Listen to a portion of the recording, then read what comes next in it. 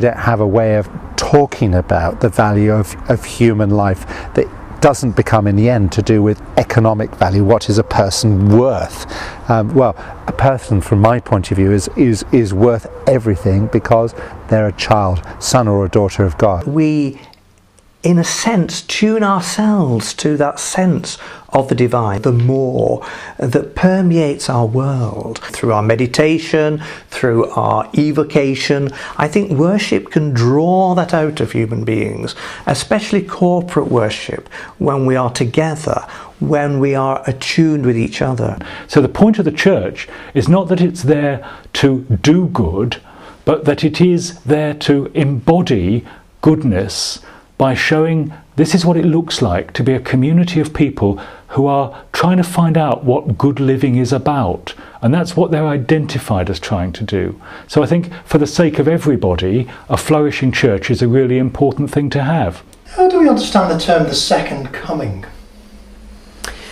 It's not a New Testament term, the parousia, the making present of Christ. It's one of the most mysterious expressions in the New Testament, and I think it's very important to relocate it in the light of modern science. There will be an end of history, whenever it is. At the end of history, it will be the reality of Christ, which we fully recognize, all of us, to be the reality in which we have always existed. And that's the making present of Christ. That's, that's the second coming. Um, it's not a literal thing. I mean, literalism is the death of spirituality. And if you take these sentences literally, that Jesus is going to come along in the clouds, he'll be all wet and damp, and he'll have lots of angels with him, uh, be coming in at 25 miles an hour, you know, aquaplaning down to the Red Sea. Well, no, that just misses the spiritual part. It, it, becomes a stupid story. I'm a devoted student of the Bible. I've studied it in Hebrew and Greek, and I find myself steeped in scripture from a very young age right the way through to now, and I can't imagine ever being other than totally devoted to scripture. The scriptures I love, the scriptures that God has given us to be a means of exploration, questioning, challenge, have been domesticated. They've been reduced to mere certainties when actually our God is about opening up possibilities. The idea that the Word of God is infallible and we have to believe the Bible literally is a 16th century invention. It became common because of the disputes between Protestants and Catholics. I think it's Deuteronomy chapter 20 where it says, If the cities of Canaan don't submit to be your slaves, you should exterminate them all, men, women, children, and animals. I cannot believe for a moment, and I will never believe that God said that. Look at the history of the Soviet Union. That wasn't a kind of great paragon of moral virtue and freedom and peace, and there was no religion involved in that. Look at South Africa. The churches transformed that situation and were at the heart of the liberation of people.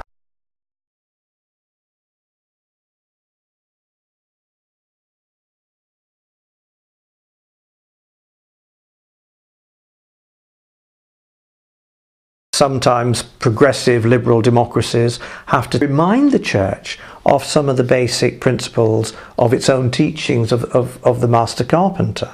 Jesus has to be the touchstone for interpreting the Bible.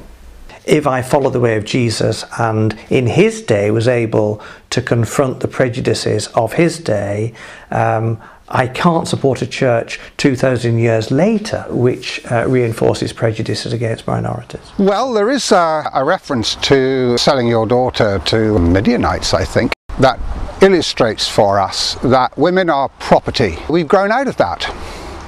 It's just not relevant.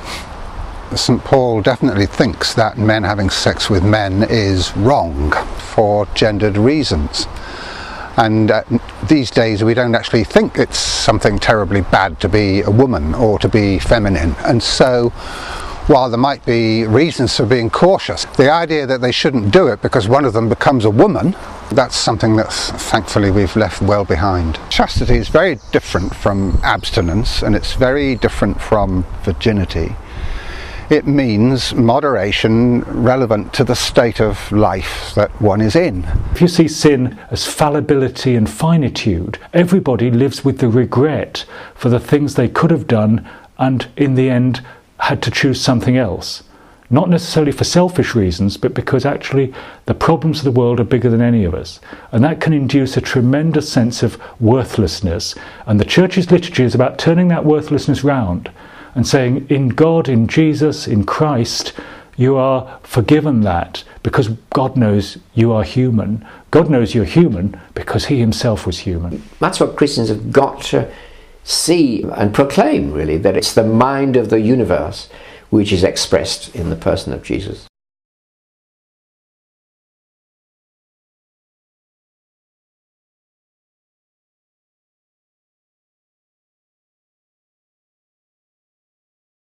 Liberalism is trying to ensure that God the Holy Spirit is not restricted. And for me, liberalism therefore is liberating. Don't walk away from it because the church is too important. It's a vital part of God's economy of salvation. Whether it's to do with climate change or justice issues, we're going to continue to need good, thought through, liberal theology to support those campaigns that matter so much to us, to our children and our children's children.